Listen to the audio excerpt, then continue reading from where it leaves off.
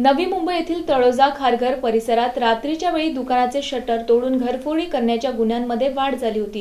ही वाढती गुन्हेगारी रोखण्यासाठी पोलीस आयुक्त विपिन कुमार सिंग अपर पोलीस आयुक्त महेश गुर्गे आणि पोलीस उपायुक्त सुरेश मेंगडे यांनी गुन्हे उघडकीस आणण्यासाठी आदेश दिले होते.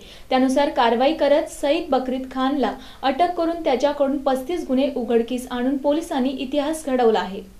नवी मुंबई येथील तळोजा खारघर परिसरात रात्रीच्या वेळेत दुकानाचे शटर तोडून घरफोडी करण्याच्या गुन्ह्यांमध्ये वाढ झाली आहे. ही वाढती गुन्हेगारी रोखण्यासाठी पोलीस आयुक्त बिपिन कुमार सिंग अपर पोलीस आयुक्त महेश घुरे आणि पोलीस उपायुक्त सुरेश मेंगडे यांनी गुन्हे उघडकीस आणण्यासाठी आदेश दिले होते. त्यानुसार कारवाई करत अब्दुल सईद बकरीद खानला अटक करून त्याच्याकडून पस्तीस गुन्हे उघडकीस आणून पोलिसांनी इतिहास घडवला आहे.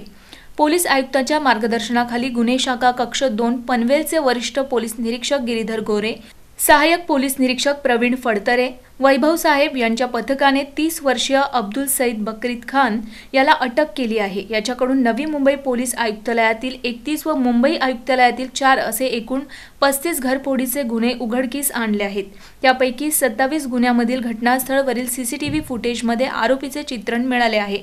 तसेच आरोपीकडून मुद्देमालही हस्तगत करण्यात आलाय.